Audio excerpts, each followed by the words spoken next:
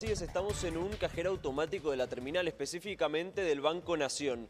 Déjenme decirles que los cajeros automáticos se ponen bondadosos porque a partir de ahora las personas físicas y jurídicas podrán retirar en cada extracción y por día al menos hasta 60 mil pesos.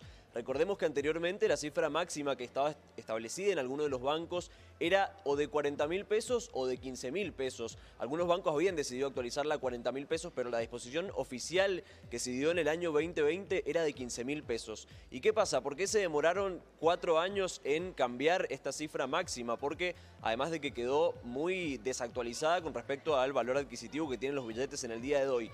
Y la demora se daba porque, por ejemplo, llenar un cajero automático como los que ven acá atrás mío vale aproximadamente, o sea, en este cajero automático puede entrar, ponerle 8 millones de pesos, nada más que eso. Y si pensamos en que tiene que tener billetes de mil o dos mil pesos, y se retiran, por ejemplo, si se podría retirar 200 mil o hasta 300 mil pesos, debería rellenarse este cajero automático de forma prácticamente diaria y esto generaría, por sobre todo, eliminar la vida útil de este cajero, acortarla directamente y además se incrementaría los gastos para mover menos plata. Por eso el Banco Central había determinado aquel 2020, en aquel 2020 solo un monto máximo de 15 mil pesos y ahora decidieron actualizarla hasta 60 mil pesos. Acá la señora si quiere, por ejemplo, sacar 60 mil pesos podría hacerlo, pero en este caso no lo puede hacer porque en este cajero automático todavía por lo menos esta disposición no está aplicada. Se cree que en los próximos días comenzará a aplicarse en el resto de los bancos, de las entidades bancarias y recordemos que esta disposición pertenece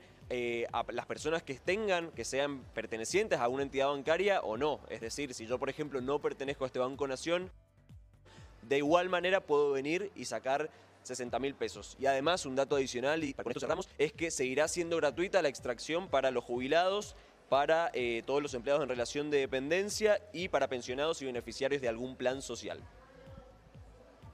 Esta novedad, seguramente muchos, aquellos que tengan ese dinero, porque el cajero puede ser muy bondadoso, ¿no? Pero lo que hay que tener es dinero para poder sacarlo.